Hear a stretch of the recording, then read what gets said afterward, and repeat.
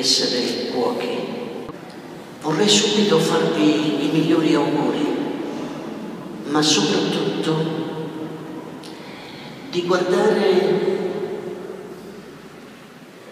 le reliquie di questo santo. È vissuto quattro secoli e più fa,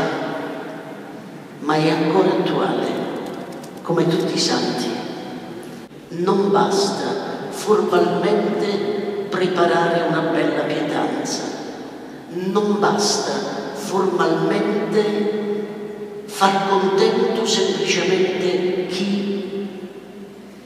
gusterà quella pietanza. C'è bisogno che passi in un dono molto grande, passi tutta l'umanità di chi prepara, di chi serve a colui che mangia. Questo è maturità, maturità nel dare senso al proprio lavoro. Un santo non molto conosciuto che è diventato patrono di cuochi, come mai? Dunque, diciamo che ehm, Villa Santa Maria, che è un piccolo paese di 1500 anime, ma ha un famosissimo istituto alberghiero, ehm, tutta la storia nasce negli anni 1600 eh, con i Caracciolo che avevano un castello medievale a Villa Santa Maria di lì praticamente tutti quelli che passavano per le cucine eh, poi passavano per Napoli e andavano in giro per il mondo. Avevano un'ottima attinenza con la cucina e quindi sono diventati dei famosi cuochi insomma, che hanno servito reali, re e quant'altro. Poi negli anni 90 ehm, praticamente un santo poco conosciuto, San Francesco Caracciolo,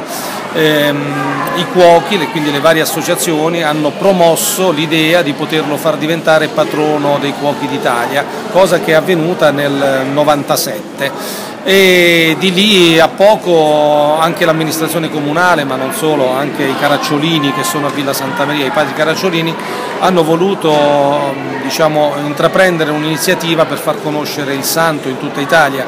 quindi dal 2011 che veramente all'inizio i cittadini villesi non erano molto d'accordo, quindi abbiamo avuto anche qualche critica, ma adesso si convincono che è bene far conoscere il nostro santo patrono un po' all'Italia stessa. Quindi tutte le associazioni che ne fanno richiesta eh, per poter avere un pellegrinaggio il nostro santo per alcuni giorni viene accompagnata da una comunità villese di cui io sono sindaco, tra l'altro io sono anche cuoco, quindi come dire, sono il primo cuoco eh, sindaco di Villa Santa Maria ma forse d'Italia, ma questo non è molto importante, l'importante è far conoscere il santo e di conseguenza anche il paese che gli ha dato i Natali, che è Villa Santa Maria.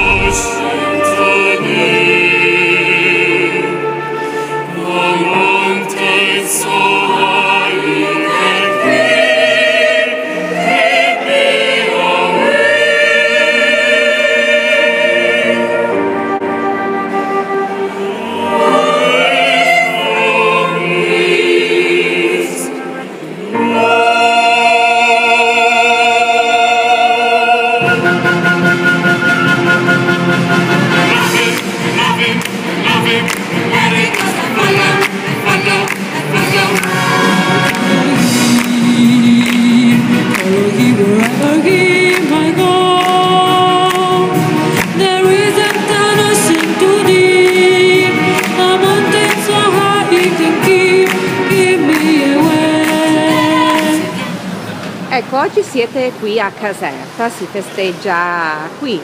ma quando è la data? Noi abbiamo festeggiato, ogni anno festeggiamo San Francesco Caracciolo il 13 di ottobre che è la data della sua nascita,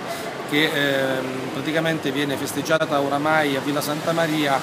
da eh, 38 anni, quindi ogni anno vi è una rassegna dei cuochi eh, che ricade in quella settimana in cui il santo diciamo, è nato. E mh, anche quest'anno abbiamo avuto una presenza di sei, oltre 600 cuochi alla manifestazione. E poi vi è una kermesse di tre giorni dove ci sono show cooking, preparazioni e vari giornalisti che vengono eh, diciamo, a trovarci per eh, per dire un po' all'Italia tutta cos'è Villa Santa Maria e perché vi è questa notorietà col nostro santo San Francesco Caracciolo.